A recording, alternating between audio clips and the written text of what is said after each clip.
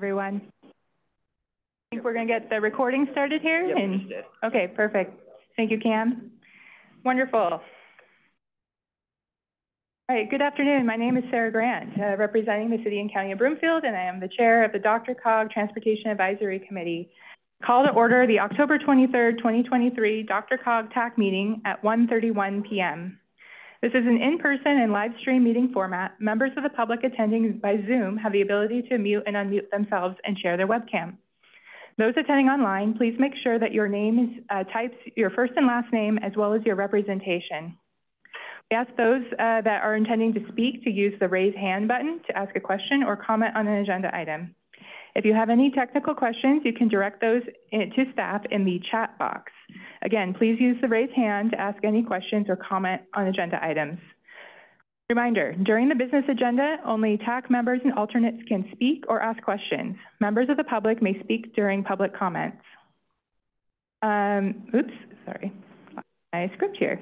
Um, For those here in person, please press the unmute button at the bottom of your mic. It currently should be red and it will uh, light, unlight itself for you to speak. Please speak directly into the microphone so your voice will amplify and please announce your name and representation when asking a question or making a comment for the record. Uh, DRCOG is sending around the sign-in sheet, so please sign in. And at this time, TAC members and alternates here in person will introduce themselves. Um, we'll start here, Ms. D'Andrea. Ms. Maria D'Andrea, City of Wheat Ridge. Christina Lane, Jefferson County. Hillary Simmons, Little Help, Senior. Barry, City of. Rachel Hulteen, non-motorized special interest. Carson Priest, TDM, non-motorized. Brandon Soderlund, City of Littleton. Larry Nimmo, Douglas County, City of Castle Pines. Jeff Dankenbring, representing Arapahoe County from the city of Centennial. Kent Moorman, Adams County, City of Thornton. Don Feruzzi, City of Arvada. Matt Callison, City of Aurora, Arapahoe County. Frank Bruno via Mobility Services. Jeff Boyd, Housing Special Interest Seat. Pam Kennedy, DRCOG staff. Sarah Grant, City and County of Broomfield. Jacob Riger, Dr. Cog staff. Ron Papsdorf, DRCOG. Mike Silverstein, Regional Air Quality Council. Jordan Rudel, CDOT Region One. Marissa Gaughan, CDOT Division of Transportation Development. In Sampson, City of Boulder. Bill Sirois, RTD. David Gasper, City and County of Denver. Jennifer Bartlett, City and County of Denver. Matt Wempe, uh, City of Golden, Jefferson County. Uh, Justin Schmitz, representing Douglas County with City of Lone Tree. Brian Weimer, Arapahoe County. Lauren Kurgis, Dr. Cogstaff. Cody Ayers, Aviation Special Interest. And Rick Pilgrim, Environmental Special Interest. Great, thank you, everybody. This time I'll hand it over to Jacob Riger for a few announcements. Great, thank you, Madam Chair. Um, we need to say both hello and goodbye at this meeting, so let's say hello back to Hillary Simmons. Uh, welcome back, glad to have you. And we need to say goodbye and acknowledge um, all the great contributions of Rachel Hulteen with Bicycle Colorado. This is her last meeting. Uh, we're really, really sad to lose you, Rachel, but we're so grateful for everything that you've done Um, in your current role for TAC, for DRCOG, and for the region. So I want to acknowledge your service and say thank you.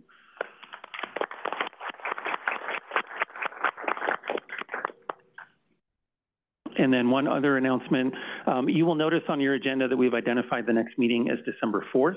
So we wanted to call that out. After today's meeting, we'll send out a calendar invite so that you have that. Uh, but we've essentially either combined November and December or canceled November and moved up December, however you want to look at it.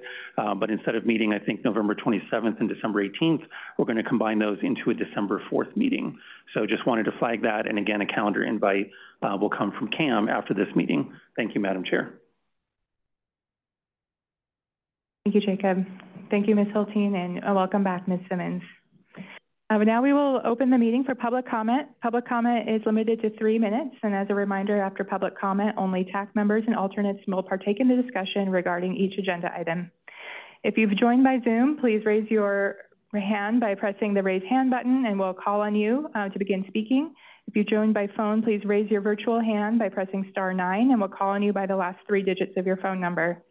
Staff will unmute you and then you'll need to unmute yourself by pressing star six on your phone. You'll have three minutes to speak in which you will be asked to wrap up and your line will be muted. As a reminder to everyone, after public comment, only TAC members and alternates may be partake in the discussion. Do we have any public comment? Thank you, Madam Chair. Give it a second, but I don't see any hands raised online or in person. Thank you. At this time, we'll move on to um, the meeting summary from the September 25th, 2023 TAC meeting. Um, please let me know if there's any discussion, corrections, or questions regarding the meeting summary.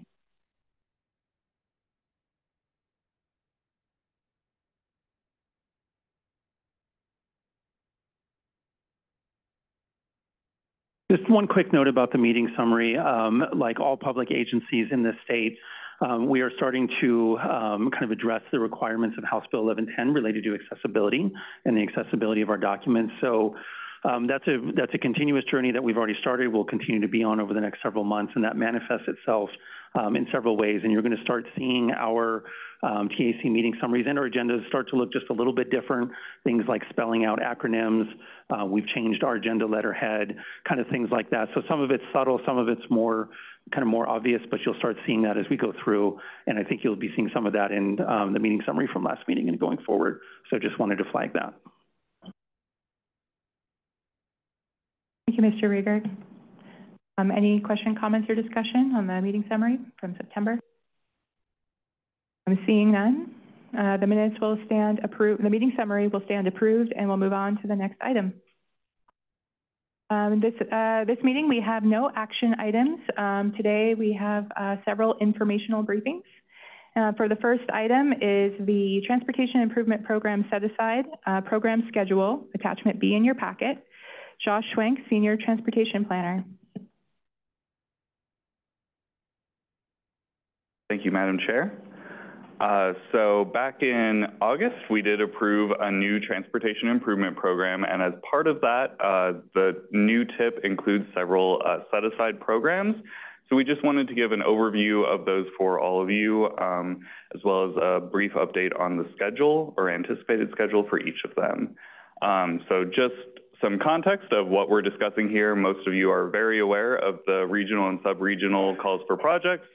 Uh, honestly, probably a little bit sick of them after the past year and a half, um, back-to-back calls. Uh, but we do have some additional funding opportunities for you. So before we held those calls for projects, some funding was taken off the top from the pool of funding available. It was set aside, as the name implies, uh, for several programs that we have, um, several of which include their own solicitations. So the current set-asides in the new uh, TIP document are here on your screen. Um, before you get too concerned about the complicated structure, basically these seven red boxes are what we're discussing. Um, they're essentially each their own independent programs. Um, the air quality improvements one is just a little bit different. That funding goes straight to the Regional Air Quality Council. Uh, there's generally not a solicitation to local agencies for that funding. Um, so just running quickly through the anticipated schedule, I will just note um, this is our, our best estimate of when these application calls for projects or letter of interest solicitations will be occurring. Um, it is always subject to change, um, but as of right now, this is when we anticipate them. Um, so starting at the top with human service transportation, that generally occurs annually every winter. Um, the Regional Transportation Operations and Technology actually just wrapped up a call for projects, but anticipates going out again um, spring of 2026. Transportation Demand Management uh, is looking, well, actually also just wrapped up um, a call for projects a few months ago. Uh, they are looking at spring of 2025 for their next solicitation. Um, these next four, I will amend my earlier caveat to just say these are, are new programs. So take these dates with an extra grain of salt. We are trying, still trying to set them up, um, get everything contracted, so there, there could be some flexibility in these dates. Um, but Innovative Mobility is looking at this coming spring, um, as well as summer of 2025. Community-based transportation planning, you'll actually be hearing about um, later in this meeting. They are looking at opening very soon, um, and then holding an additional solicitation uh, in 2025.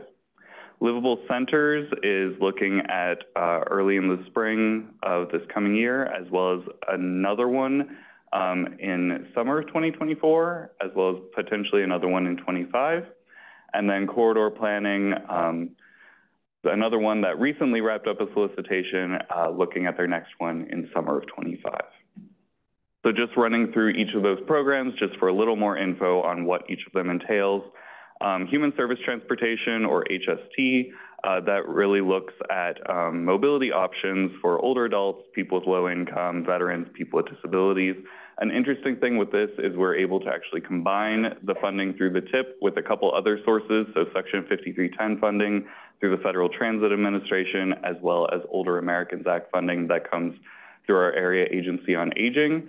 Uh, just provides some additional funding for these projects. Uh, we hold a kind of combined super call, so you don't need to look at which specific funding source you're applying for. Um, and just some examples of projects that have recently been funded under the HST set aside. Um, you'll see some vehicle purchases, either replacements or fleet expansions, some mobility management type projects, as well as operating expenses. And you'll see the sponsors are a mix of local agencies as well as some um, nonprofit service providers. So for Regional Transportation Operations and Technology, or RTO&T, um, this is really looking at implementing our new Regional Transportation Operations Strategic Plan, um, really looking at traffic operations around the region, um, ensuring interconnectivity and efficient operations. Um, this, uh, and actually the, uh, the note at the bottom was there just because these were approved uh, last week by our board. Um, but these are our new set of recent RTO&T projects. Um, so You'll see a mixture, but um, everything from traffic management center, signal equipment, um, detection devices, cameras, um, all sorts of things. Um, you'll notice the sponsors here are primarily local public agencies. Uh, for transportation demand, excuse me, transportation demand management, or TDM, um, this is really looking at marketing and outreach around TDM strategies to reduce single occupant vehicle travel. Um, so again, these are our recent awards uh, to give you an idea of some examples. Um, again, a mix, uh, everything from shuttle service uh, to um, an expansion of the Viva Streets program that had opened up Broadway to bikes and pedestrians recently. And you'll notice the sponsors here are primarily our transportation management associations in the region. Um, so our new set-asides, um, you don't need to know this acronym, but we call them the CLIP set-asides just to note uh, the four programs.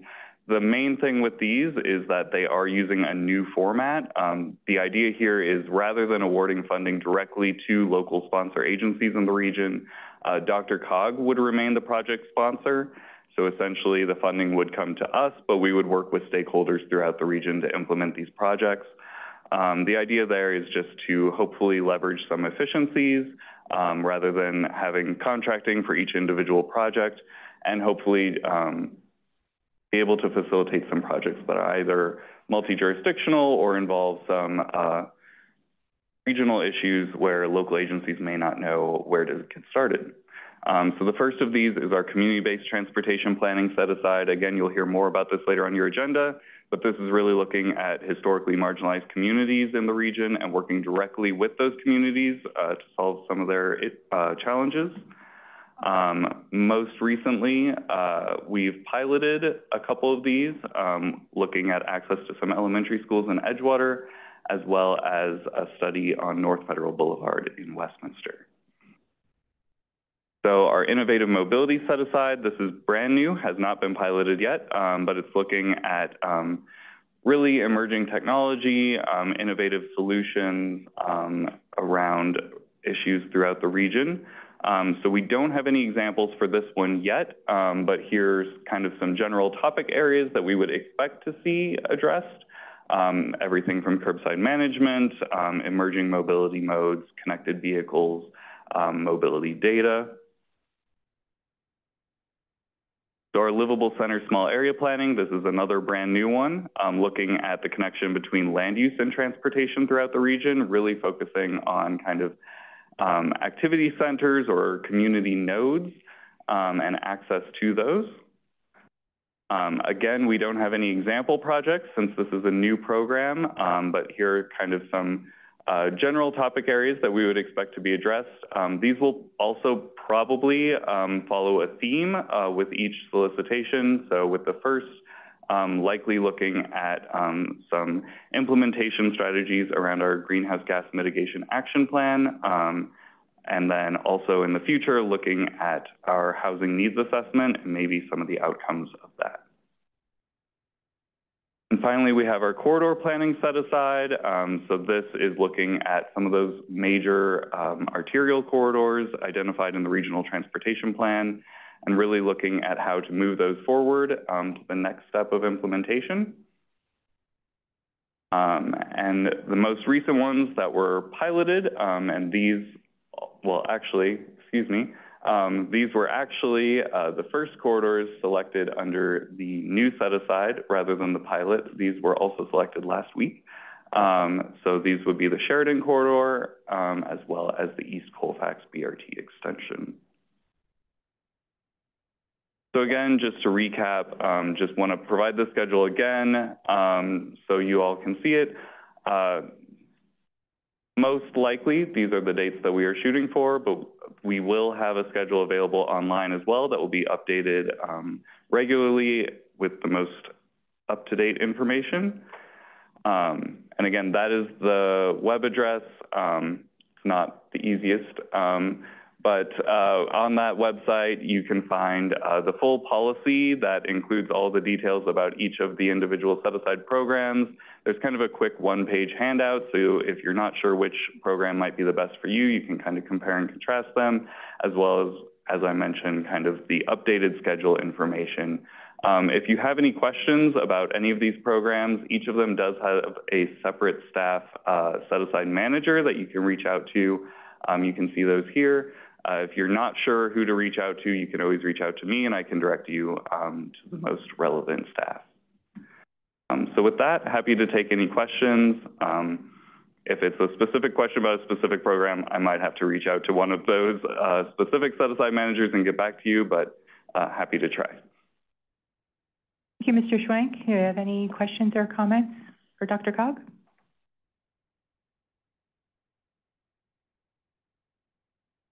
Mr. Weimer. So this may be something that you can't answer, but I'm going to ask it anyway. So you're doing some housing assessments, correct, uh, with regard to uh, housing needs and stuff, and DRCOG's taking that over. My question is, how are you integrating um, what counties have to do as part of their HUD programs in their housing assessments, and how does that integrate together? And how are you taking that information? Can anybody answer that one? Since it's not transportation directly related. Madam Chair. Mr. Papsdorf. Um, thanks, Brian. Appreciate the question. It is a uh, not a not an easy answer. It's a complicated question, complicated answer. So you're right. Um, at the request of our board of directors, DRCOG is embarking on a regional housing assessment and planning effort. Um, as a logical outgrowth from a lot of the debate that occurred earlier this year at the state legislature around statewide housing policy and um, mandates for um, local housing policies through legislation that ended up not getting enacted into law.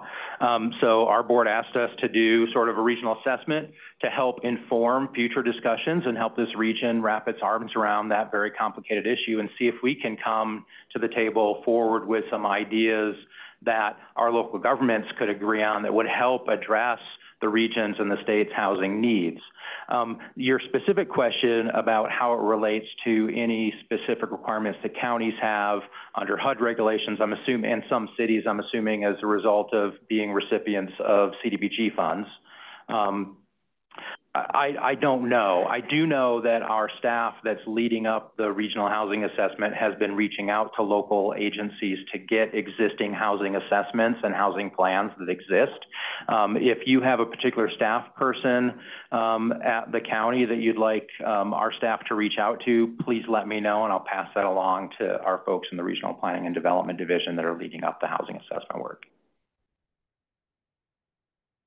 Yeah, we can do that, and I just, there's a timing issue there, and if it's going to be utilized from the standpoint of what you're going to be making allocations for, kind of what was identified up here, I think that would be helpful because I know some of the jurisdictions are actually doing those assessments now, and I'm not sure of the timing as it relates to theirs versus yours and how those interact. That's the purpose of my question. No, that's really, that's really helpful, Brian. And again, just let me know who, who to get, um, our folks in touch with, um, at the, at the county, because it, it is really important. They're, they're working really hard to reach out to the appropriate staff at local agencies, cities and counties and towns. Um, again, gathering information about existing housing assessment work that's been done, but not every jurisdiction has done those, um, to at least help inform our process. This process is moving pretty quickly. We're hoping to have sort of at least an initial sort of high-level needs assessment done uh, by about January, but the regional, the full regional housing assessment and any associated sort of strategies that come out of that won't be completed until next.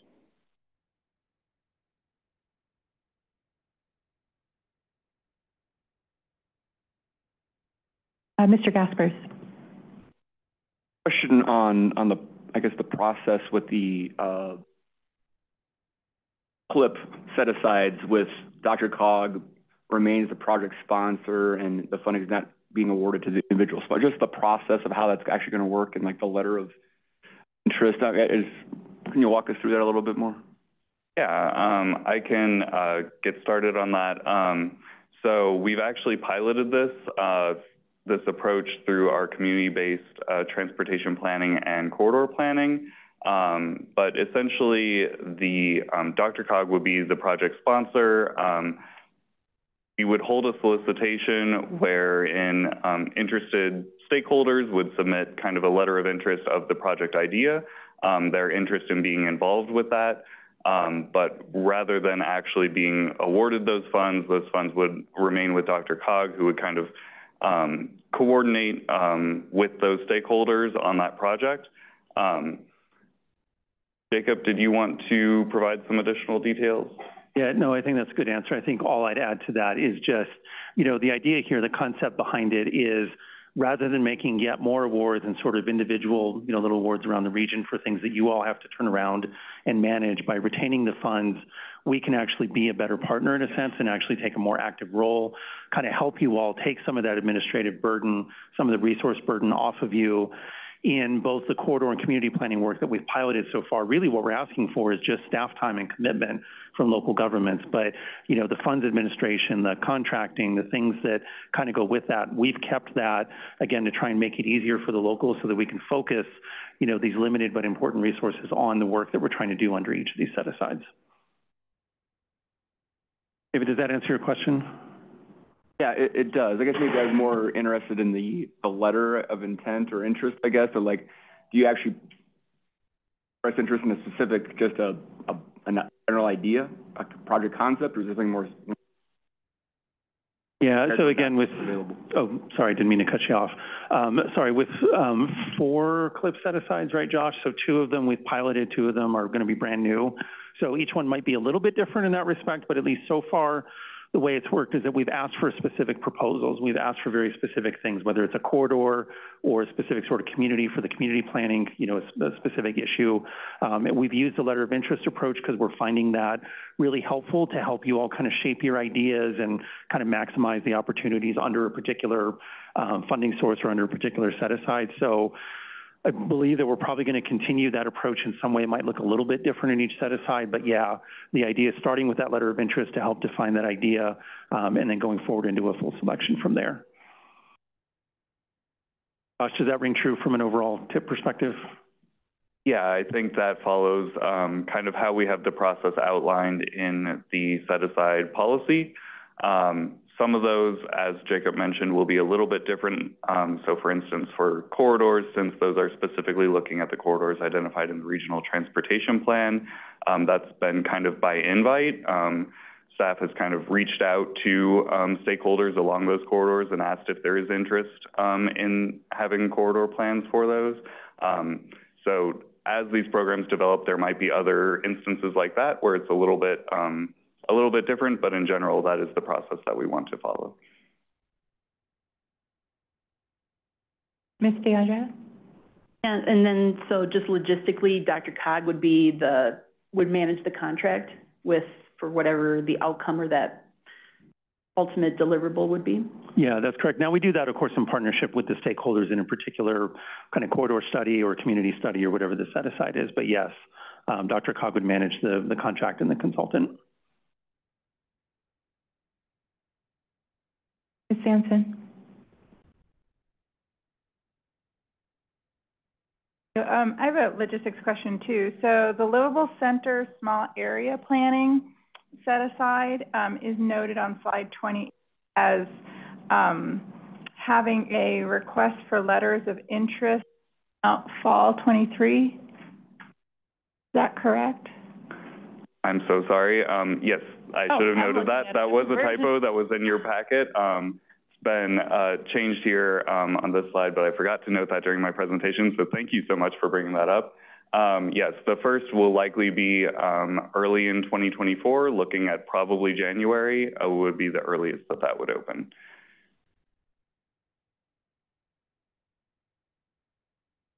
Mr. Papsdorf? Thank you. Just, just a couple of additional notes on sort of the administrative questions that have come up, and just to highlight a couple of the other reasons why we did that. And we, we, we talked about this with the committee as we were adopting the TIP and establishing those set-asides. Um, but two key things. One is by um, DRCOG sort of being the grant recipient for those set-aside programs, we have negotiated with CDOT, and CDOT has agreed to allow us to use state toll credits for the match. So in the past, for our set-aside programs and for some of our other set-aside programs where we're basically allocating grants to local government recipients, you all were responsible for the non-federal match for those projects. In this case, since we're sort of lumping a number of projects together under a broader category, CDOT has agreed to allow us to use state toll credits for that non-federal match. For, so we're able to leverage the money more directly and relieve local jurisdictions from that match requirement. The other piece is that we're working with CDOT to negotiate basically one grant agreement for each of those set-aside programs. So instead of us awarding a grant to each, to individual jurisdictions, and then you all negotiating that grant agreement with CDOT and putting more administrative burden on CDOT, we're working towards um, one grant agreement between DRCOG and CDOT for each of those, each of those programs. So again, addressing some of those administrative issues. And then lastly, I think uh, particularly for the corridor planning work, you know, the corridors that we think are appropriate for this program are the ones where doc, it's in DRCOG's lane as a convener, right? These are big, complex, multi-jurisdictional corridors. We don't, we don't typically, we're not really looking to use that this corridor planning process where DRCOG would play more of a lead role in coordination with local governments to sort of do a pretty small corridor that's sort of just in one jurisdiction, right? That, that's not really our role, that's more appropriate for a local jurisdiction. But a big corridor that spans multiple jurisdictions, maybe it's a state highway that spans multiple jurisdictions, that's kind of where we're, what we're looking at.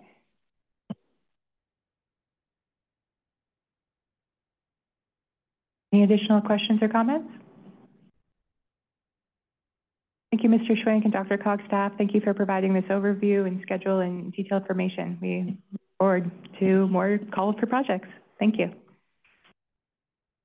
Uh, next item of the informational briefings is item number five, the 2050 Regional Transportation Plan Cycle Amendments. This is attachment C in your packet. Um, and I have Alvin Badal Sanchez, Regional Transportation Planning Program Manager, for this agenda item. Thank you.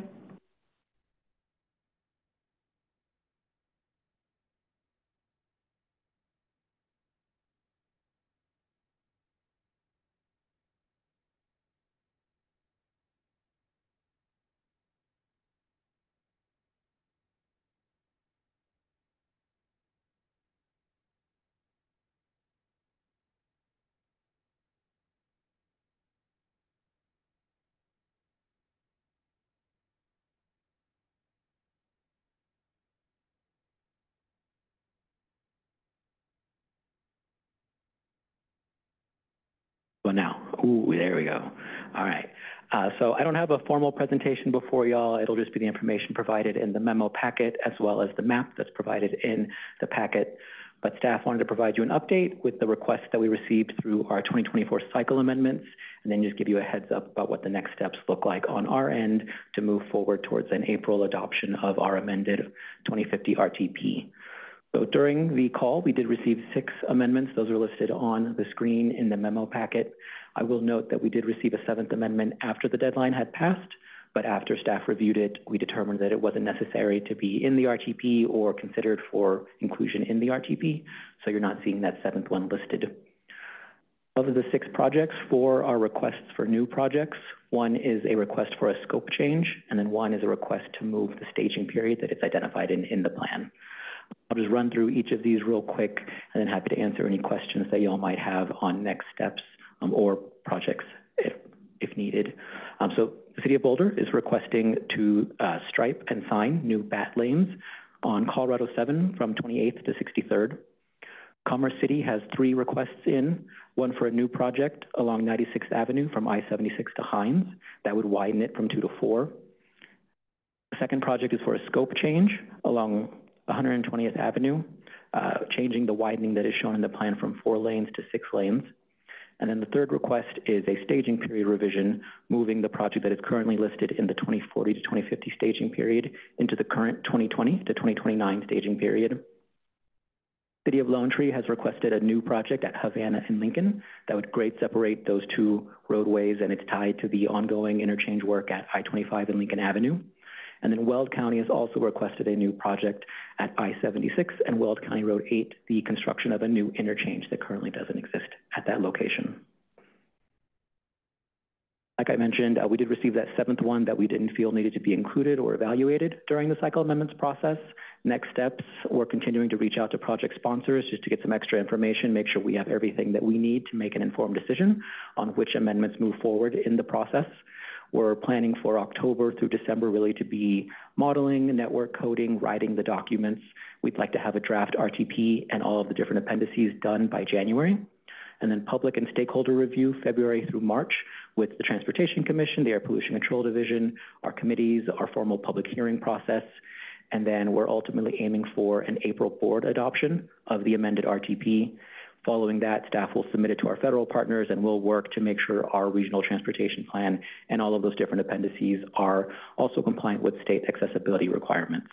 So those are some of the next steps we're looking at for this process, but we wanted to provide you an update with what we received during this call for amendments um, and see if there are any questions on either the projects or next steps moving forward. Thank you, Chair. Thank you. Any questions uh, for DRCOG staff? Mr. Weimer. Although you didn't mention it, I assume that part of the analysis will include the greenhouse gas plan, and uh, I would assume that that's part of all these projects that you're looking for, how that integrates with that, correct? Correct. Uh, even for an amendment cycle, we do still meet all of our federal requirements. So we still will be doing state greenhouse gas emission reduction requirements modeling, along with our federal air quality conformity. Uh, while it isn't a project-based analysis, we just do, still do look at the full network uh, during an amendment cycle to make sure it's in compliance. Mr. Moorman?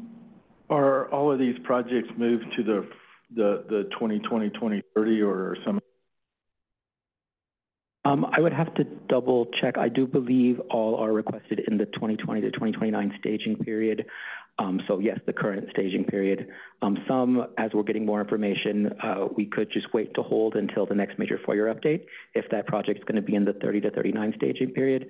So that could be part of uh, the information that we're taking into consideration when it comes time to comes time to determine what's included in the amendments that are moved forward. Thank you.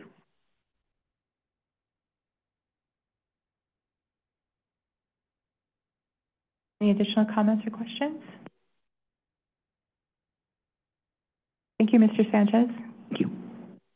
Uh, we will move on to item number six in your packet. This is the 2023 Active Modes Crash Report. Uh, and Aaron Villery, uh, Senior Active Transportation Planner, uh, will present this item. Thank you.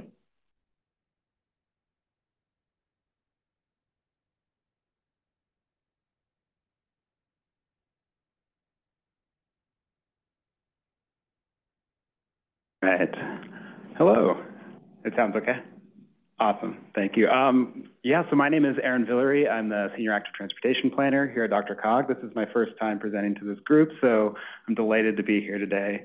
Um, and I wanted to talk about the Active Modes Crash Report um, that we have included in packets and are um, uh, thrilled to present to you. So um, the Active Modes Crash Report um, is a report on bicycle and pedestrian um, and uh, scooter crashes over a five-year period between uh, 2019. Um, this uses regional crash data that we, we received from the state, um, and then DRCOG curates, and we can use for analysis. Um, this is an update. There are our previous crash report uh, uh, was part of the Active Transportation Plan uh, adopted in 2019, and that covered 2011 to 2015 data. Um, so this is an update to that report to um, uh, study the tra crash trends and causes um, of, of recent uh, active mode crashes in the region. Uh, but before we uh, really dig in, I want to start with this window over the last decade preceding it. So starting at 2010, um, consistent with national trends, uh, there's been a pretty uh, fast uptick in uh, uh, fatal and severe injury crashes uh, regionally and nationally. Um, and specifically, pedestrian fatal and severe injury crashes between 2010 and 2019 uh, went up about 42%. Um, Motorized uh, fatal and severe injury crashes went up as well, and then bicycling involved crashes are more complicated. But I wanted to call this out as sort of the, the, the driving reason behind uh, the importance of this report, um, that this is, this is both a national and regional trend and something that I think a lot of uh, us are focused on. Uh, just to put a little more context, so sort of since the, the Great Recession of that period, uh, pedestrian involved fatal and severe injury crashes in the region have gone from about 200 to about 285 uh, in, in 2019. And so that's about a, a 42% uh, increase. Um, sort, sort of show you that, uh, that increase. Bicycle-involved crashes, uh, this is a little more complex of a picture. You can sort of see it's following that, that increasing trend uh, between 2010 and 2014. And then fatal and severe injury crashes actually start to tick down a little bit. Um, it's a fairly small sample size, so we want to be careful about drawing too many conclusions with this.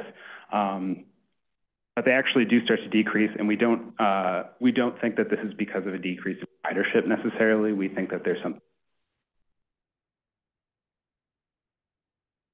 Um, but uh, just to really focus in on that analysis window between 2015 uh, and 2019, uh, bicycle and pedestrian involved crashes uh, were about 3% of crashes regionally, about 22% of fatal and severe injury crashes. Um, this is familiar to, I think, a lot of us. Uh, people who are bicycling and walking um, don't have vehicle design to protect them, so we often see outsized impacts um, in the event of crashes, that those are more likely to be catastrophic. And so this is a, um, because they're overrepresented among crashes, this sort of makes the case for additional focus um, as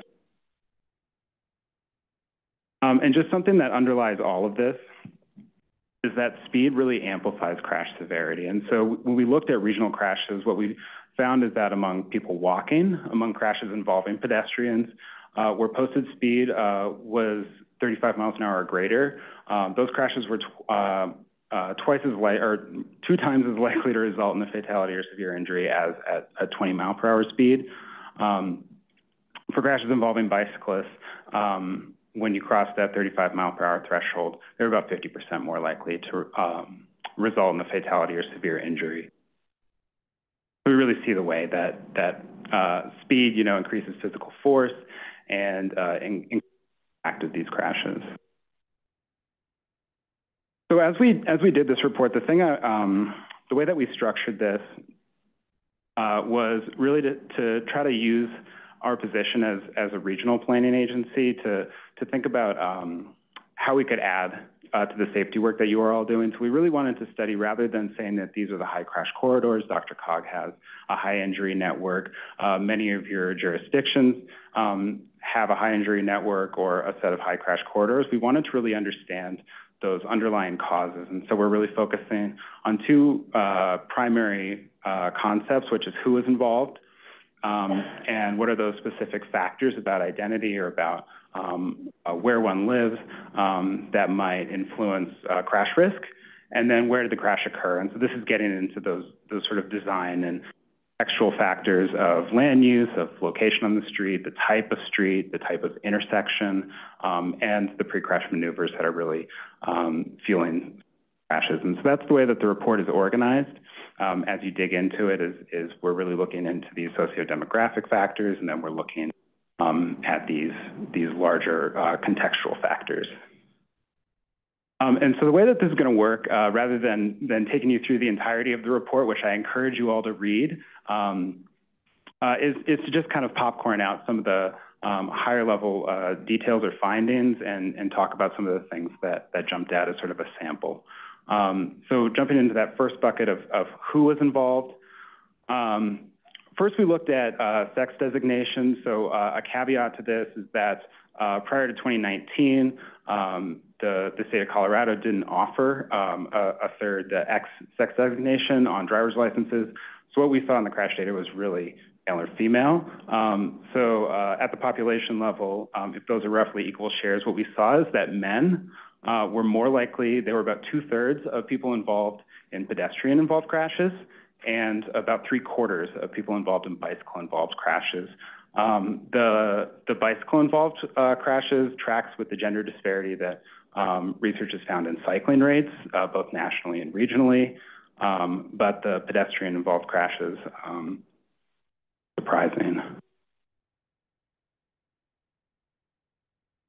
I also wanted to look at age uh, because um, we know physiology, physiologically, um, the ability to withstand trauma sort of um, changes over um, over age and over your life period. And we found that people over the age of 65 were about 52% more likely than people um, aged 20 to 45 to, to if, when they were involved in crashes for those crashes to result in death.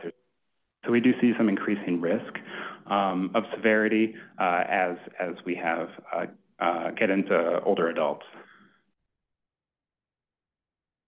And then finally, this one I'm going to scan at a very high level, but I encourage you to, to look into this a little bit more. We use the, the Justice 40 Equitable Transportation Community indicators, which is similar to DRCOG's equity index, um, but uh, breaks down some additional factors. And so we use this, this is a spatial um, index of uh, different either um, social factors, um, economic factors, environmental burden, risk of, um, uh, of hazard, um, and, and we sort of cross-reference those with where crashes were taking place, and we found um, the big takeaway for this is that sort of as you have more um, historically marginalized population, which is to say in census tracts where there's uh, a higher population of people who are either um, scoring higher in social vulnerability, which um, uh, measures sort of, you know, different socioeconomic factors. Environmental burden um, measures risk of exposure to environmental um, hazards. And then transportation cost burden is a calculated index of, of how much households spend on transportation. But essentially, as those um, equity indicators increased, so did crash risk. And these are not the three of the same map. These maps all look a little different. So it's not just remapping um, that as these different risk factors uh, increase, so does crash risk. Um, and finally, we looked at uh, uh, in the crash data where drugs and alcohol were suspected and found that in pedestrian crashes, similar to crashes uh, um, of motorized modes of transportation, but a little higher, about one in five uh, involved alcohol uh, or alcohol was suspected in at least one um, person involved in the crash. Um, so something of a, of a takeaway just to eye on. And then to um, talk about the other piece, uh, which is where did crashes occur and what were the contextual factors underlying uh, active mode crashes.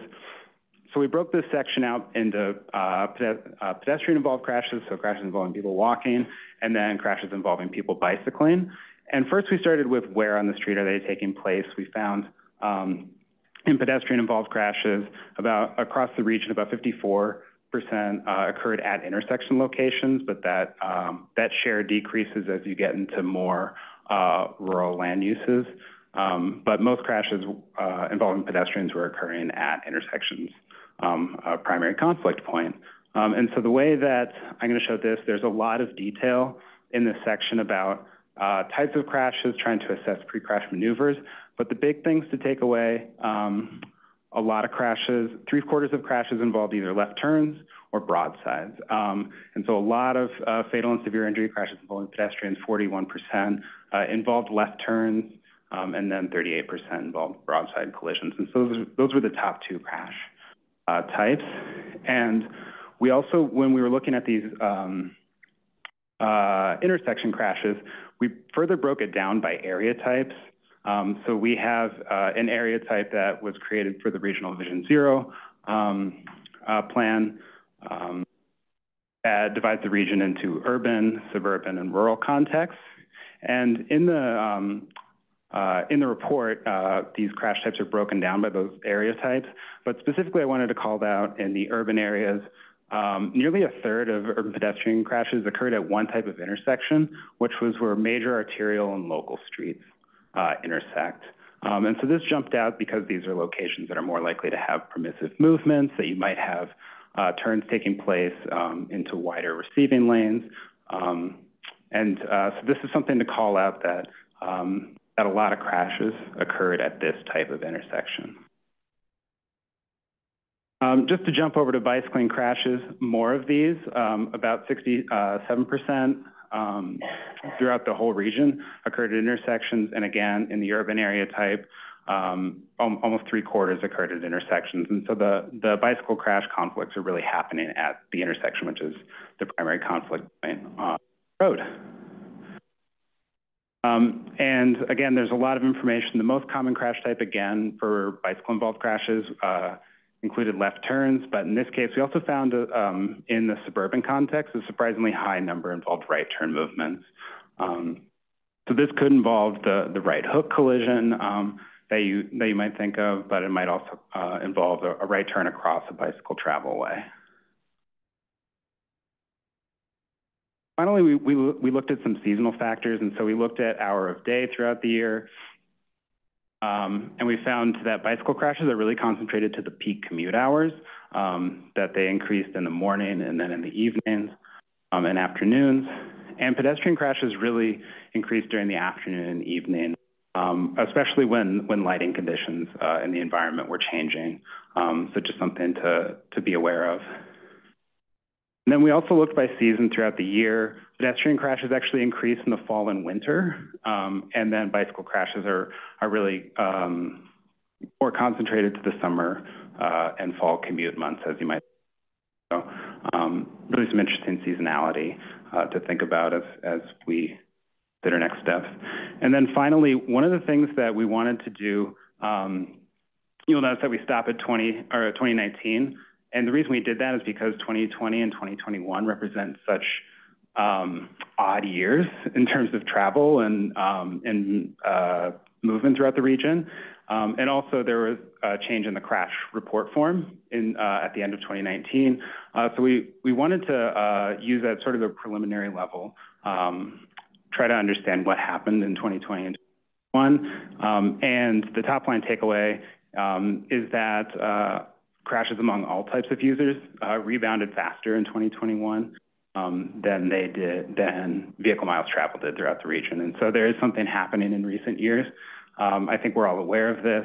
Um, we're all thinking about it, but um, it's true for, for people bicycling and walking that, that crashes seem to be coming back faster than, um, than traffic itself is. Um, so that was a very uh, quick um, summary of what's in the in the report. I encourage you all to to dig in and read it, um, and I appreciate your time and uh, am available for questions. Thank you, Mr. Villere. Uh, any questions for DRCOG? Mr. Callison. Thank you takeaways being measures, adjusting pro projects. Follow-up question, do you have the uh, serious and, fatalities sorted by cities or um, so for the for the first questions about countermeasures, we actually very intentionally chose not to include countermeasures um, in this report because we wanted to just have a baseline of what was in the crash data before we proceeded into that. Uh, we are planning um, to, uh, update the active transportation plan, uh, beginning next year. Um, and so we'll be digging into that with, with this group and, uh, with, over the, the next year, um, especially. Um, and then broken down by, city, we chose not to. We felt that the area types were a little bit more evocative of, sort of understanding the crash patterns, and didn't want to necessarily get into that benchmarking of city did worse or better, you know. It's, I, think this is, our, our hope is that this is a tool for understanding common patterns and types and, um, and being a resource for member governments to use. So we, we certainly could produce, um, uh, a benchmarking of, of cities, but, uh, we wanted to make sure in the crash report that we we're really focusing on those causes. I, I would suggest that it, it would be helpful for cities in terms program development and responses in their community, getting those budgets, getting those resources. That's a, a striking challenge. Absolutely. Thank you. Ms. Hulteen. Thank you. I've got a couple of things. They're more comments than questions.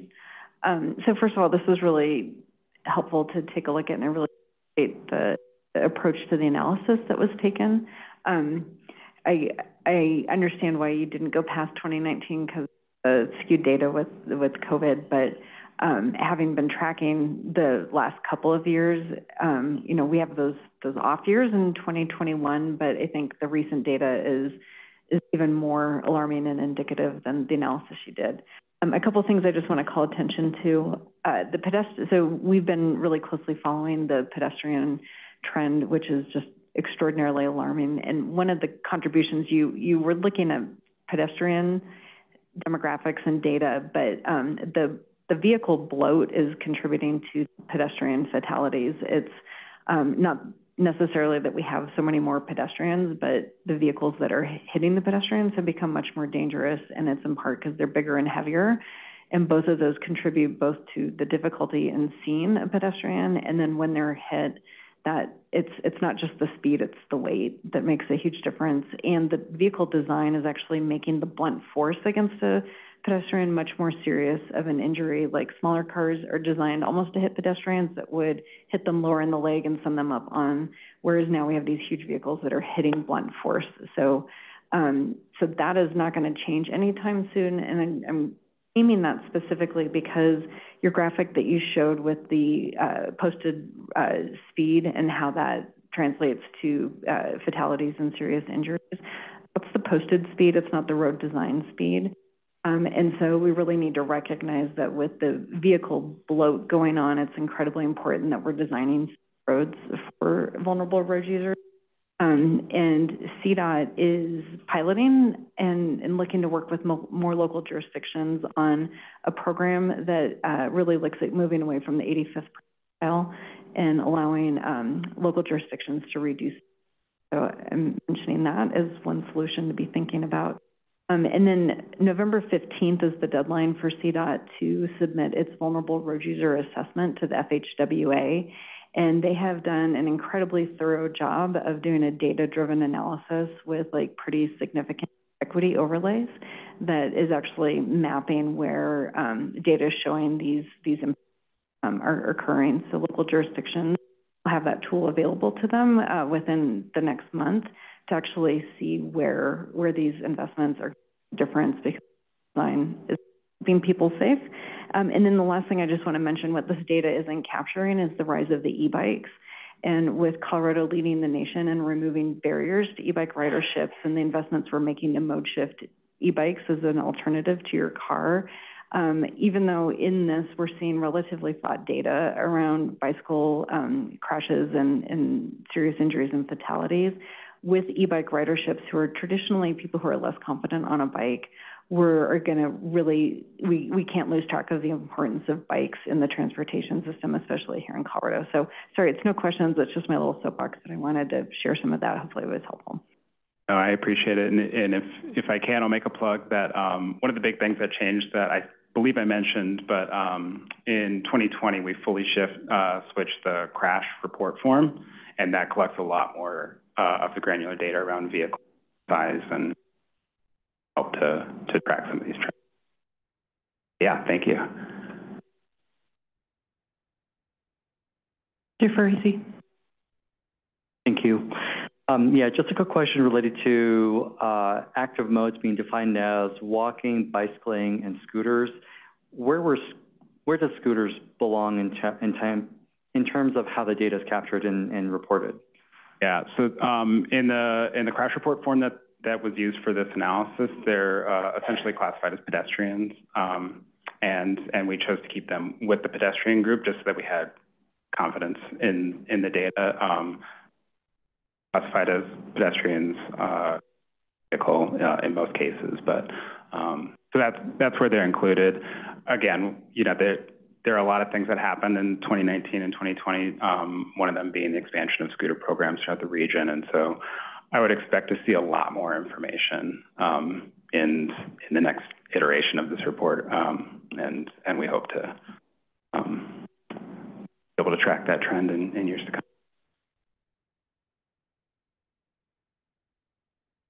Mr. Weimar. Were you able to track the cause of the accident or who was to blame? Um, so you have vehicles, right? And then you have the active user.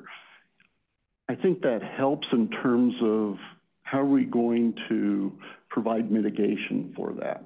i.e., somebody running across the middle of a, and you showed some of that information, right? Where yeah. they're not at an intersection um, that we may provide different types of mitigation to prevent that from happening versus other things. So do you have that information? Do you have it in the report? How, how did you look at that component?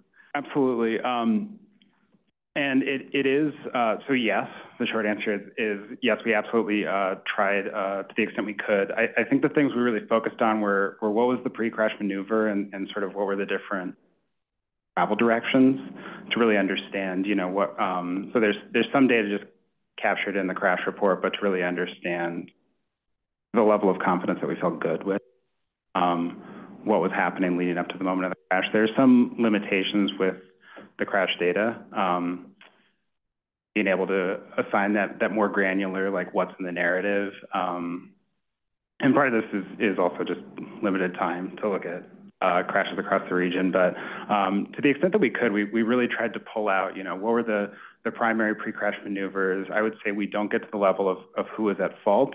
Um, we sort of wanted to take this filter of, of what, were, what was happening in the moments before crash to try to understand what are the exacerbating risk factors, um, say in road design. So like the, the one that jumped out to me is um, specifically the, the, the road type around left turn movements, you know, um, we don't always know like which direction somebody was turning, but we, we have pretty good confidence to be able to say, um, you know, was this an approach turn versus um, versus like a broadside crash. And um, so trying to identify some of those causes. And, and so again, there's a lot of detail in the report, um, and we really do try to um, shed some light on, on what some of the major conflicts are by area type and by context.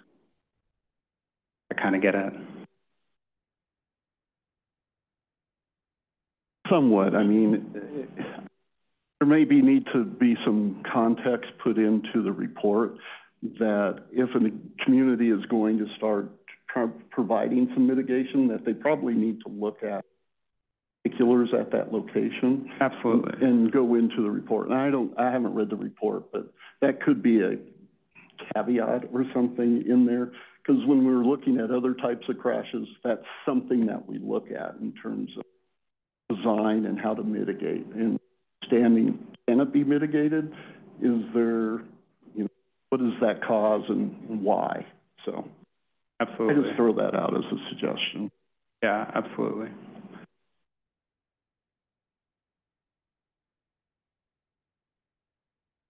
Thank you, Mr. Villery. Um, piggybacking on um, Mr. Weimer's question, um, it seems that careless driving is probably one of a, a common, uh, one of the check marks in the report. Um, do we know in the report, is there any indication that may, to see, you know, distracted driving or other um, actions that may have led to the collision? And is that being tracked? Yes, um, and, and there is a section on uh, human contributing factors is, is how it's labeled in the report. And um, uh, so there is that data in some of the crash reports. Uh, so we do include that where, where a human factor was assigned to a crash. Um, I, I wouldn't be able to tell you the numbers off the top of my head, but uh, distraction um, was, I believe, in the sort of like top three or four um, among both modes of crashes. Um, but then again, I'm, uh, I don't have that. Thank you for the clarification that's on there. I suppose it may also be difficult to discern at the moment uh, what actually led to it. So for clarifying what is on those crash reports. Any additional questions or comments for Mr. Villery? Thank you. Thank you for this um, report and tracking um, this very important topic. Appreciate it. Next item on the agenda is item number seven, Community-Based Transportation Plan Call for Letters of Interest. This is attachment E in your packet. Nora Kern, a sub-area in Project Planning Program Manager.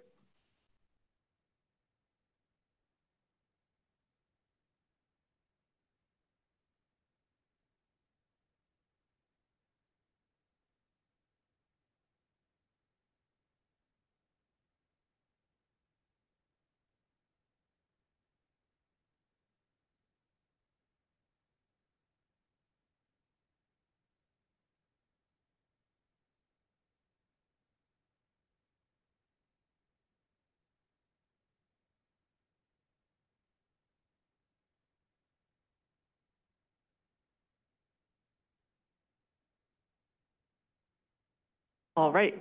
Um, so I'm here to talk about one of the new set-asides that Josh kind of gave a good preview for earlier. Um, my name is Nora Kern. I'm the sub-area project planning and program manager, and will be the manager for the community-based transportation planning set-aside. So um, kind of just a preview, again, a little bit more detail on the, the schedule that Josh provided, but we are um, planning to have a call for letters of interest here um, towards the end of the year for the community-based transportation planning set aside. Um, for reference, we do intend to, we kind of plan to have about um, $2.5 million available over the four years of the set aside, and we are planning on splitting that roughly into two two-year calls. So we anticipate having a, about one and a quarter million dollars for this next two-year set aside. The letters of interest will be due by the end of the year, so December 31st, 2023. Um, we'll then have a selection panel review the letters that we receive um, in, this, in the early new year, and then hope to make a selection so that we can kind of get those projects rolling in the second quarter of 2024. And then, um, as Josh discussed earlier, we will have a second round for this program with letters of interest likely in summer 2025. So two, two chances for these projects. So the community-based transportation planning set aside is really intended to kind of be a technical assistance program um, to support planning efforts around the region focused on historically underserved communities. So you can see some of the goals here, um, but it's really about expanding access to opportunities for, for people across the region um, and supporting the efforts of our member governments in planning for these folks and, and kind of working with them to develop transportation plans.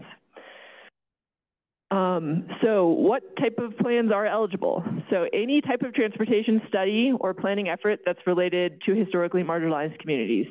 So you can see some examples here. It could be sub-area plans. It could be a, a small corridor study. Could be multimodal bike ped plans, safety studies. Um, I don't need to read them all. You can see the list, but we're trying to keep it really broad. Um, the main factor is that we want these studies to be focused on historically underserved communities. And I didn't include a slide on this, but we actually have a pretty, we're trying to keep the definition of historically marginalized communities, trying to keep that broad as well. So this could be a community that's geographically, geographically, um, ugh, geographically defined um, as either low income or communities of color or um, another um, you know, demographic based analysis. Um, but we're also open to proposals that might look at a kind of a subgroup of population. So maybe students who attend public schools within a, a broader community, or maybe, you know, if you're imagining Cherry Creek, you might think that might not be eligible, but if we're focused on maybe the staff um, or, the, or the folks who are riding transit in that community, that might still be an eligible project. So the kind of three key things we're looking to have in all of these studies. First, because we are focused on some, some communities that maybe haven't been centered in, in planning or maybe hard to reach, um, we want to have ex extensive community engagement. And we will work with all the communities in kind of developing what this looks like. It could include working with community-based organizations. It could include focus groups. It include a number of other kind of um, different types of technique, techniques. Um, second, we do really want to kind of focus on um, centering the historically marginalized communities. So in the letter of interest, we'll ask you what community the plan is for. And so we want to kind of keep that as our North Star throughout the planning process. Um, if we are planning for a certain community, we kind of want to make sure they're um, centered and, and if possible at the table throughout the whole process. And then last, we are hoping to kind of have projects that are implementation oriented.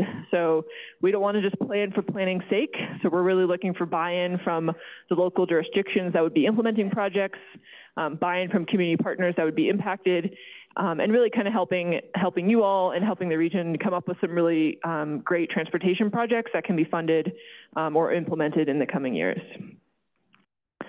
So um, who can apply for these or who can submit a letter of interest, I should say?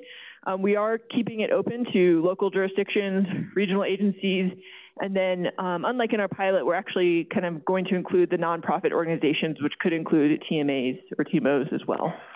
The one note is we, because we're trying to keep the project implementation oriented, if a nonprofit or TMO submits a letter of interest, we will require a letter of interest from the impacted jurisdiction, just to make sure there's kind of buy-in from, from all of our local partners. Um, we touched on this a little bit, so this is one of our new format set-asides. So the, the roles are slightly tweaked compared to us just handing funds to um, the project sponsors. So DRCOG is going to fully fund the studies. There is no local match, so we'll un underline that, uh, no local match required. Um, and then as we talked about earlier, we'll manage procurement, um, including the contract with CDOT for the, for the funds, and then service project manager for the study.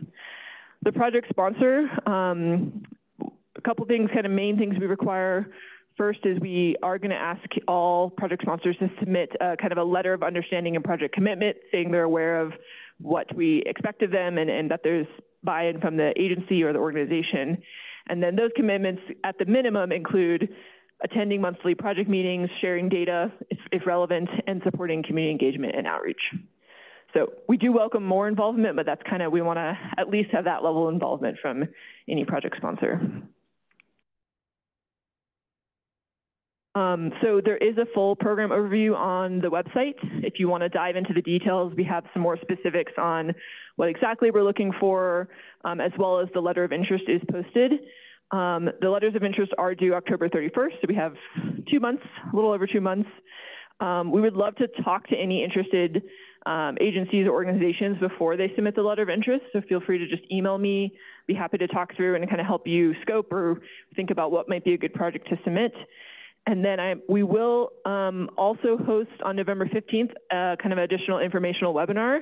So we'd love to have any of you and or your um, colleagues join us to learn more about the project, really dive into the details, um, answer any questions, uh, especially if you are interested in submitting a letter of interest and you're starting to, to look at the letter of interest and, and the different questions, we could kind of talk through some of the details there. So with that, I am happy to take any questions if you have them now, but also hope to talk to folks about projects in the coming weeks. Great, thank you for the overview. Any questions, DRCOG?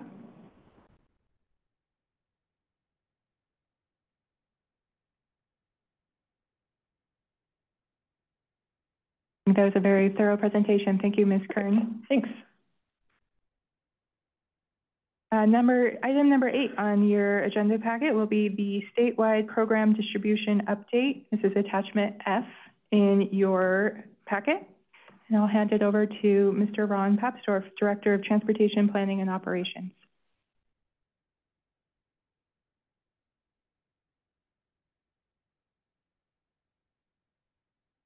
Probably more coffee out in the hallway if people need to wake up. Um, thanks. I just wanted to take a moment um, at today's meeting to bring everyone up to date on the process of statewide program distribution that's underway at CDOT. Um, this is a process that happens about every four years that CDOT leads, um, principally around a number of um, different transportation funding programs where there's some discretion on how those funds get distributed to different parts of the state, different geographies. So um, this is part of the statewide transportation plan. So CDOT initiates this again about every four years, usually kind of before they embark on a major statewide plan update. Um, it's how we all sort of project anticipated revenues that will be available for uh, the next period of time to for all of our planning processes. Um, the timing is a little challenging for DRCOG, given that we have just completed our TIP process that allocated um, anticipated uh, revenue streams through our TIP process for the year's fiscal year uh, 24 through 27. And this program distribution discussion is also talking about distributing those funds over that same time period. So any adjustments that happen during by the Transportation Commission for some of those discretionary formula programs has uh, potentially some impact over um, our, our TIP over the next uh, four years as well. Um, funding is broken down to a number of these different program areas. Um, some of them have varying levels of discretion at the state level about how, how the funds are distributed to different parts of the state. Usually, uh, there's a couple of different geographies at play. It could be distrib distribution among the five CDOT regions. Uh, and we have two of them in the DRCOG area. Most, uh, we have all of Region 1 that covers most of the DRCOG area and a part of Region 4 that covers the Boulder County and Weld County portions of DRCOG, um, or by transportation planning region. Those, these are the 15 geographies around the state that are designated in state statute um, to uh, participate in the statewide transportation planning process. So DRCOG is one of those TPRs. I've got a map of those. And some are by, by MPO, the five MPOs in the state. Um, at, any rate, uh, there are various uh, formulas that are used to distribute those funds. And then, again, as I stated, DRCOG helps, uh, DRCOG develops our revenue forecast to inform our regional transportation plan financial um, constraints for the planning period as well as the transportation improvement program. So I mentioned DRCOG is one of the 15 transportation planning regions or TPRs around the state. Um, our TPR is coincident with our entire DRCOG boundary, which is slightly larger than our Metropolitan Planning Organization boundary. Um, and then you can see the various other uh, TPRs. There's essentially sort of five urban uh, TPRs that um, align with the five MPOs around the state, and then 10 um, kind of more rural TPRs for the rest of the state. Um, we, when, when we're um, participating in this process with our partners around the state and with CDOT, um, you know, we like to remind people that, you know, Dr. DRCOG's share of the state, if you look at sort of demographics and the economy, is a pretty significant part of the state by population. Almost 60% of the total state population is within the DRCOG boundary. About 64% of statewide employment uh, is located within uh, this the DRCOG TPR, and we account for a little over 70% of income and wages, state income uh, and wages. So significant part of sort of the demography and the and the economy.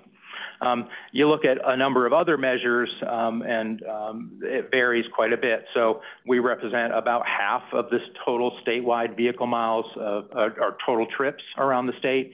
Uh, we're about 50% of the vehicle miles traveled on CDOT's uh, state highway system, and about a little about 54% of the total uh, transportation system um, statewide occurs in the Denver region. Um, when you look at lane miles, um, however, uh, the CDOT lane miles are about 19% located within the DRCOG region, about 39% though of the interstate freeway expressway lane miles on the CDOT, CDOT system. So there's a big disparity in the types of facilities that exist within the DRCOG region on the statewide system.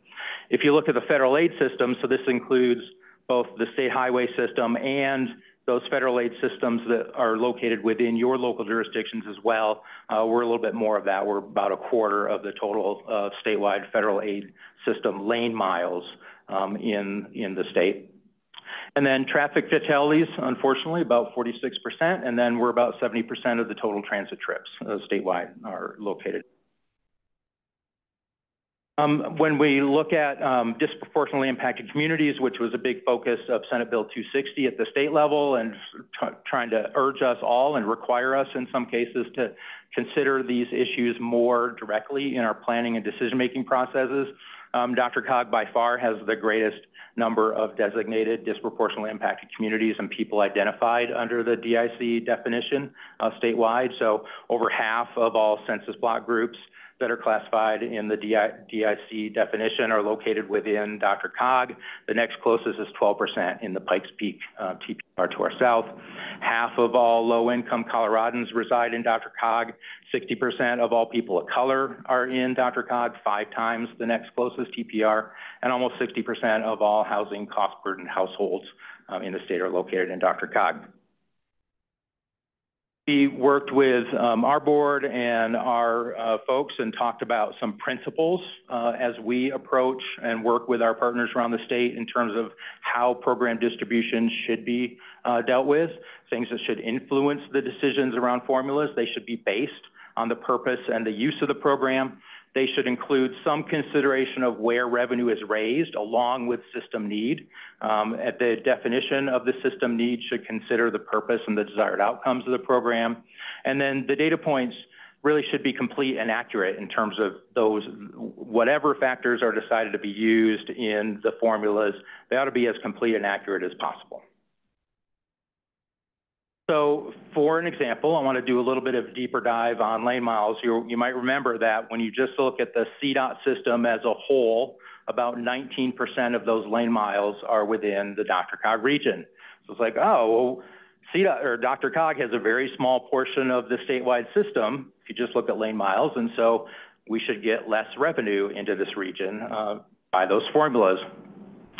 Issue with the issue with uh, lane miles are, are a couple. Um, the CDOT system uh, that reports that information, OTIS, the Online Transportation Information System, um, only represents through lanes, uh, which is not the entirety of the state highway system. It doesn't include things like freeway ramps or freeway to freeway connectors or frontage roads or auxiliary lanes. And if you think about the system in this Denver region, that's a lot of the system. It also doesn't distinguish between different facility types. So it, a lane mile on an interstate is the same as a lane mile on a local or a rural collector street. Um, there is data available by functional classification, but it historically hasn't been used in these formulas. And then, you know, our belief is that these different facility types really have a different um, kind of level of complexity and need for the transportation resources that are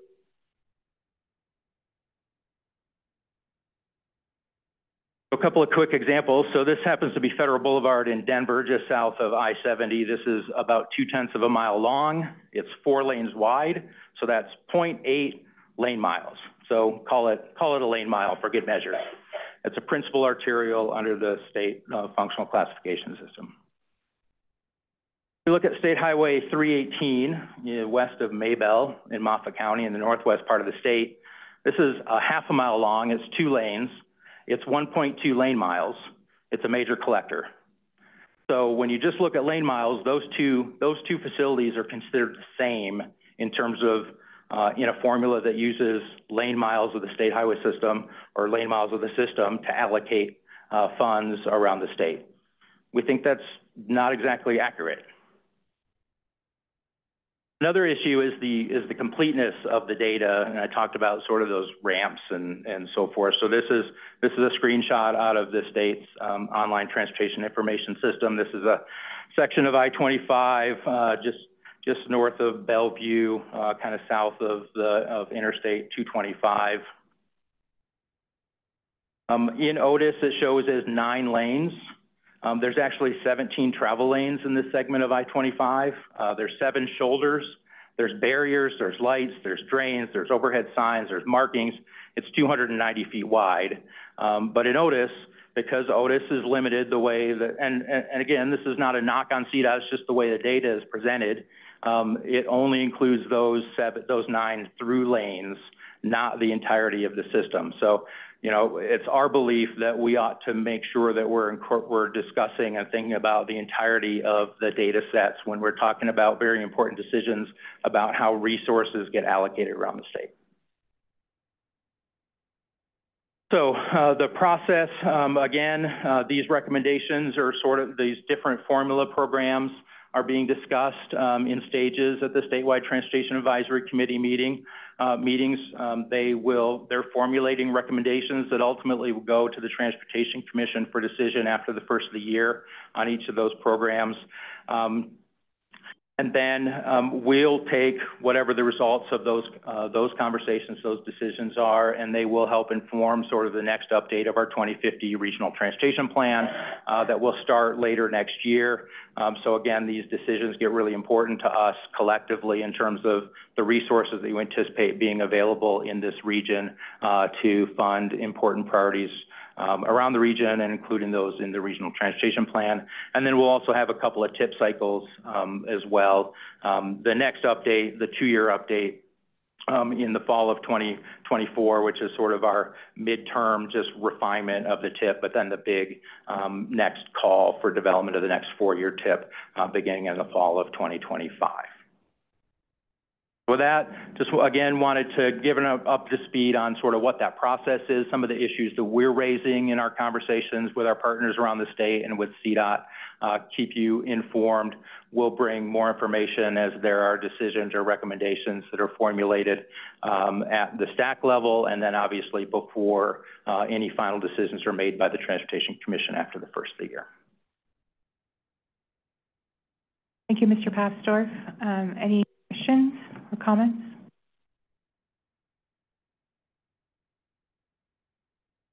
Yes, go ahead. Thank you, Ron. Um, how are those observations received by CDOT? They seem like they might represent some pretty big changes. Yeah.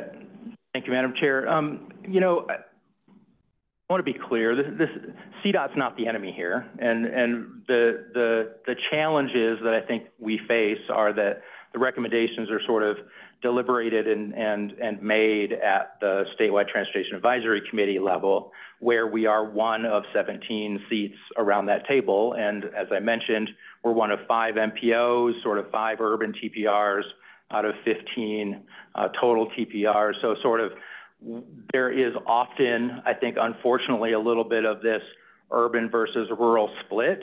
Um, and so that comes to play, and we often get, and we can get outvoted at that STAC table. So that's, that's a challenge, um, unfortunately. I think it's important to note there's not enough money to go around, right? We're all scrambling for appropriate resources to invest in the transportation systems um, across the entire state.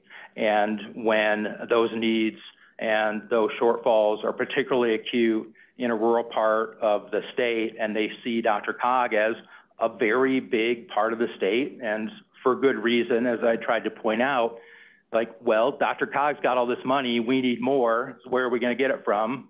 We need more money um, than, uh, than, you know, than DRCOG is getting.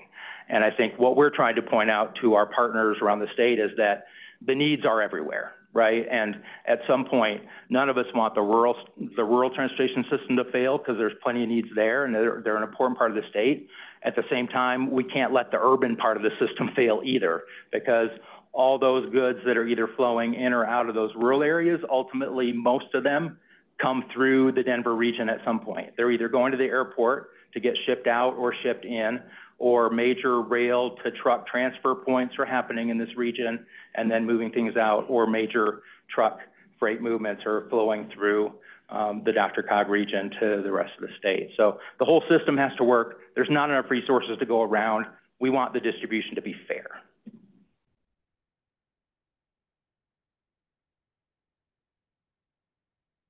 Mr. Pilgrim.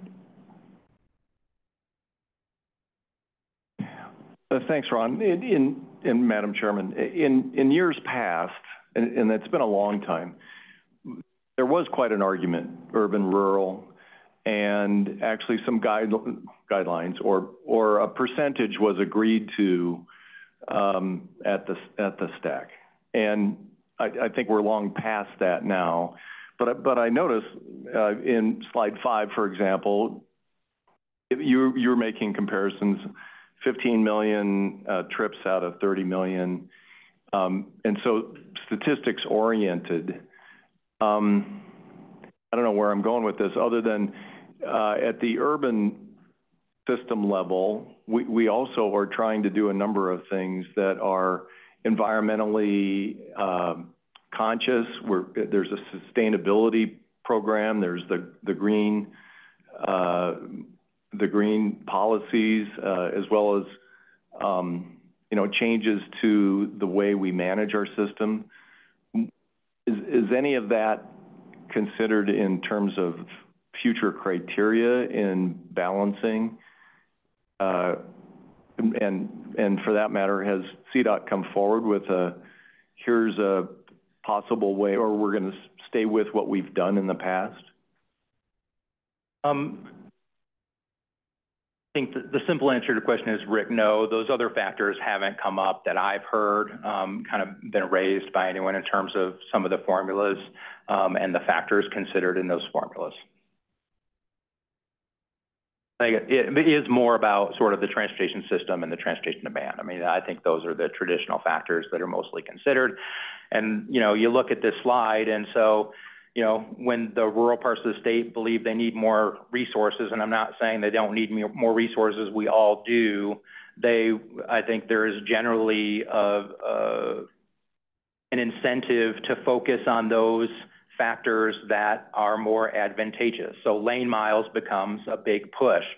The rural parts of the state, we've got lots more, look, we have lots more lane miles. The Denver region only has 20% of the state highway system lane miles. So why should, why should the Denver region get, I mean, they're not saying 20% of the funds, but, you know, a, a formula that sort of emphasizes that over things like population or vehicle miles traveled or trips or transit trips um, isn't in their interest, focusing on thing like, things like lane miles, which is why we're trying to provide a little bit more of a balanced view of lane miles and differentiating between different facility types um, to help inform that or think about other factors that um, more accurately sort of um, define what the extent of the need of the transportation system is.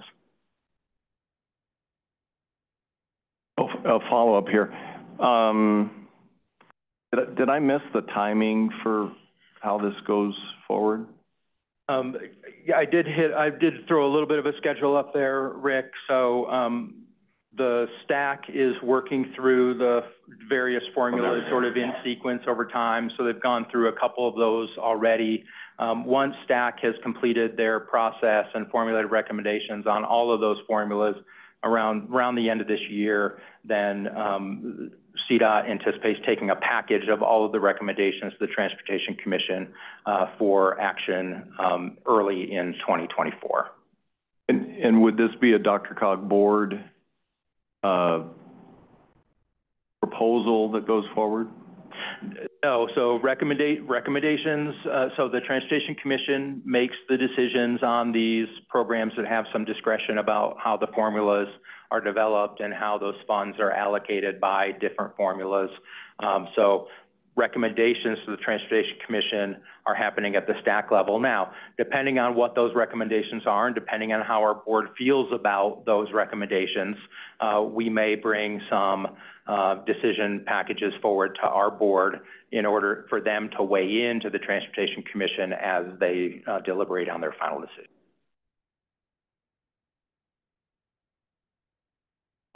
Sorry. Uh, do you sense any interest on the part of the board of, you know, our share should be this? Yes. There you go. I think the board shares the view that they, that they believe that the Denver region should get, you know, an equitable share of the resources, considering, again, there's not enough money statewide. We know everyone needs more resources, but when you're distributing sort of limited resources, there ought to be some, some equitable, as much as possible, distribution of those resources based on a fair assessment of the criteria. Not, the board hasn't settled on any, we need this percentage of resources, right? I think that's not quite the appropriate.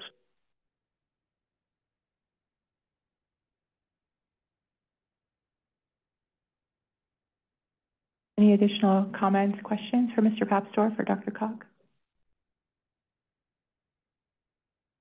Great. Thank you, Mr. Papsdorf. Thank you for keeping the TAC informed of these conversations going on with STAC and TC and um, tracking this information for the DRCOG board. Um, administrative items. Um, item number nine, um, member comments or other matters. Advanced Mobility Partnership Working Group update.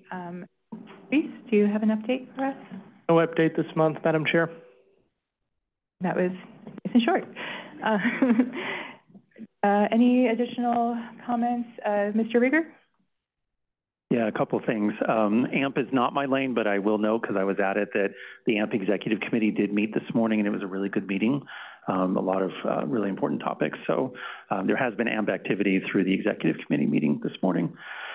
Um, main thing I wanted to talk about, though, is because this is our second to last meeting of the year, um, we actually need to, at our next meeting, our last meeting of the year, um, elect new officers for the coming two years. Um, so recall that per our DRCOG committee guidelines, we do elect chair and vice chair every two years. Uh, we do that in odd numbered years. So here we are in the end of 2023. So we will do that at our December 4th meeting that I talked about at the beginning of, of this meeting. In the interim, though, we do need to take a couple steps.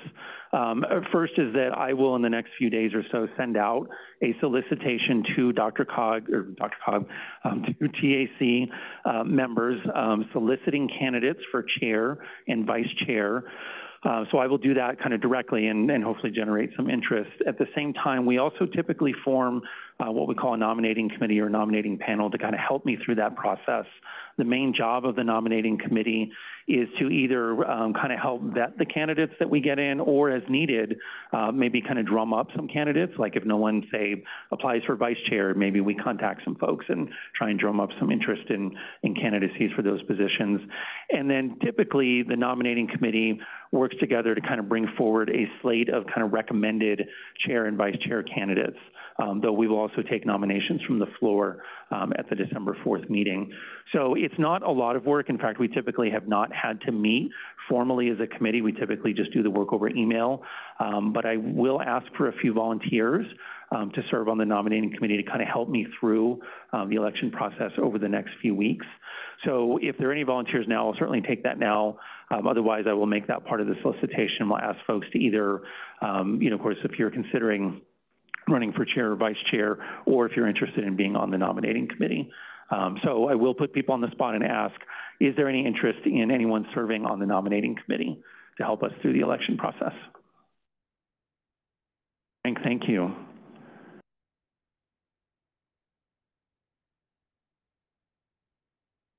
Great, who else?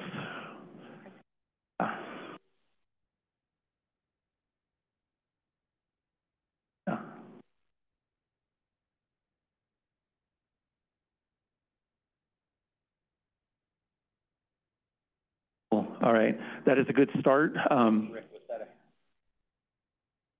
That was a half hand.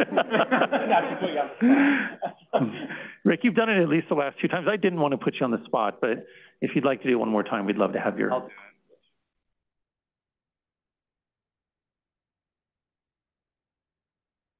Okay, so I have Frank Bruno, David Krutsinger, Brody Ayers, and Bill Sirois. Well, all right, I appreciate that very much. I will be in contact with you for um, kind of separately, but uh, very much appreciate you volunteering. Madam Chair. Mr. Riger, thank you for the volunteers. Um, any additional comments uh, or updates from other members? Okay. Well, seeing none, our next meeting will be Monday, December 4th, and that will be the last meeting of the year. Uh, Mr. Kennedy will be sending out updates for our calendars. And if you did not sign in, please do check in at the sign-in table um, or check in with Mr. Kennedy to be sure that you're marked as attending. And we will see you Monday, December 4th, and we are now adjourned at 3.05. Thank you.